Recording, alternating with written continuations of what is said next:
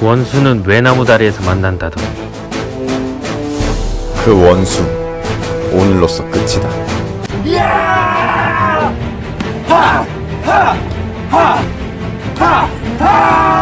하이요 돌제입니다. 자 이번 영상은 전직 빵셔들이 뽑은 유튜버 싸움 순위인데요. 지금 바로 유튜버 싸움 순위를 알아보도록 하겠습니다 가자고. 따라오라고. 같이 가자고.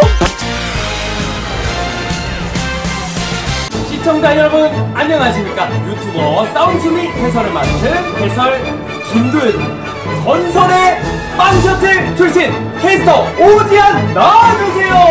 이야. 자, 여기 빵선수. 어 감사합니다 간단하게 빵셔틀 경력을 펼쳐주세요 제가 어릴 때부터 빵셔틀 조기 교육을 받았거든요. 유치원 다닐 때 요구르트 셔틀 2년, 초등학교 때 우유 셔틀 6년, 중고등학교 때 본격적으로 빵 셔틀에 입문하게 됐죠. 유튜버들의 싸움 순위를 정한다 들었는데 모든 유튜버들의 싸움 순위를 정하는 거예요. 아, 아니요, 아니요. 저희가 개인적으로 친분이 있거나 교류가 있었던 유튜버들의 안에서만 싸움 순위를 한번 정해보도록 할게요. 오, 그럼 한 뭐 두 팀 되겠네요. 아, 그죠. 저희가 그렇게 인맥이 많지는 않아. 거기 안에서 한번 정해볼게요. 알겠습니다. 여기 보시면 7명의 유튜버들의 이름이 적혀있어요. 뽑아서 순위 한번 정해볼 건데 쉽게 말해서 이상형 월드컵. 아, 이렇게 해주시면 돼요. 자, 그러면 바로 시작해볼까요? 알겠습니다. 뽑아주시면 아, 첫 번째 파이터는요. 더블비 박민규 씨. 자, 뽑아주시겠어요? 바로 볼게요. 3% 김은수 선수. 아, 3% 김은수 네. 선수. 제가 봤을 때는 이제 너무나 박민규 선수가 유력하긴 한데 맞아요. 아, 맞아요. 네. 오늘 박민규 선수가 이길 것 같습니다. 박민규 선수 다음 라운드 진출. 2라운드 시작해 보도록 하겠습니다. 네. 우리 박민규 선수의 상대는 누구인지. 바로 뽑겠습니다.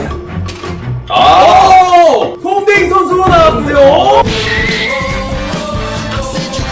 박민규 선수와 송대익 선수. 싸움은 1대1로 싸우면 잘 모르겠는데, 싸우다 보면은 친구들 부르잖아요. 아, 맞아, 맞아. 송대익 선수 친구들이 되게 많아요. 아, 맞아요, 많아요. 박민규 선수 친구는 장명준밖에 없어요. 제가 봤을 때는 송대익 선수가 이기지 않을까 이렇게 생각합니다. 자, 부러워서 그러시는 거죠? 친구 많은 게 전직 빵셔틀이었으니까 네. 얼마나 부럽겠습니까? 2라운드 결과는 송대익 선수가 박민규 선수를 이겼습니다. 송대익 선수가 진출했고요. 네. 3라운드 송대익 선수와 붙게 될 싸움 상대는 과연 누구일지 뽑아주시면 되겠습니다. 과연 와. 와 tum박의 유동훈 선수. 이번 싸움은 고민 되긴 하는데 이게 격투기가 아니잖아요. 그쵸. 룰이 있는 격투기가 아니라 음. 그냥 싸움 팔 피고 꼬집어도 돼요. 개싸움? 네 그런 싸움에서 가장 중요한 건 상대방의 머리를 잡아야 돼요. 유성훈 선수는 잡힐 머리가 없어. 유동훈 선수가 이깁니다. 와 굉장히 논리적이시네요 전직 빵적들이어서 그런지 맞아본 놈이 안다 맞습니다. 유동 선수가 송댕 선수를 이겼습니다 유동 선수 진출 4라운드 유동 선수와 붙게 될 상대는 과연 누구일지 뽑아주세요 오 오 싱싱한 싱어 권법이라고 하죠. 술을 마시고 하는 권법이 뭐예요? 취권 사마귀를 형상화해서 하는 거 뭐예요? 장난권 그렇죠. 아, 그렇죠. 그러면은 에 무슨 권이에요? 그게 뭐예요 전인권. 해외에서만 쓸 수 있는 권법이 있습니다 그게 무슨 권이죠? 여권 싱호 선수가 쓰는 권법은 춤권입니다. 예를 들어서 어, 이렇게, 어, 어, 어. 춤으로 이제 네. 사람을 매료시킨 후에 방심했을 때, 빡! 이래서 굉장히 싱호 선수가 이긴다. 4라운드 싱호 선수가 이겼습니다. 자, 5라운드 싱호 선수님과 붙을 상대는 누굴까요? 야 보따 김원식. 싱호 선수와 네. 김원식 선수가 싸우게 된다면 김원식 선수가 이길 것 같습니다. 왜죠? 네. 싸울 때는 져요 원식 선수가 집에 가서 엄마한테 일러요. 그래서 김원식 선수가 이긴다. 그쵸? 5라운드 김원식 선수가 이겼습니다. 결승전입니다. 김원식 선수와 붙을 상대는 여기서 승리하는 선수가 유튜버 싸움 순위 1위가 되는 거죠. 그쵸. 네. 과연 누가 될지. 아! 보물섬 강민석 선수입니다. 선수입니다. 이 두 선수들에게 전화를 해가지고 물어봅시다. 아, 너무 좋아요.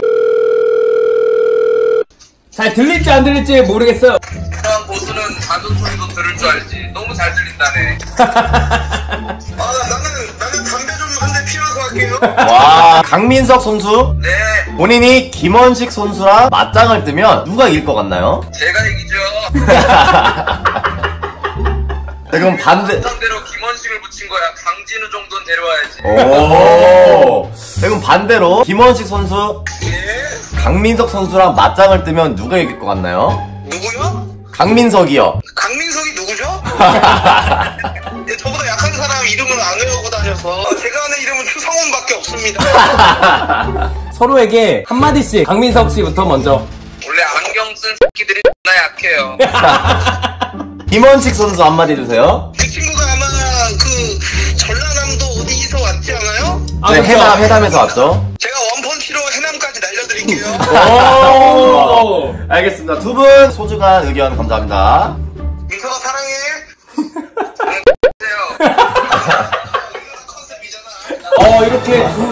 선수랑 통화를 해봤는데요. 신경전이 장난이 아니에요. 네, 여기서 1등하는 선수가 유튜버 싸움 랭킹 1위에 올라갑니다. 김원식 선수 대 강민석 선수 싸움을 승자는 과연? 발표해주세요!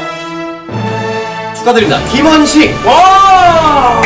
아니, 김원식인 이유가 있나요? 근육이 있어야 싸움이 유리하거든요. 김원식 선수는 이 오른팔에 근육이 상당합니다. 거의 타노스 정도의 팔뚝이에요. 왜요? 뭐 헬스를 하나요? 아, 헬스는 안 하는데 밤마다 다른 운동을 하더라고요. 이 오른팔만. 무슨 운동? 아, 뭐 있잖아요. 그 밤에 컴퓨터 앞에서 뭐, 말해봐.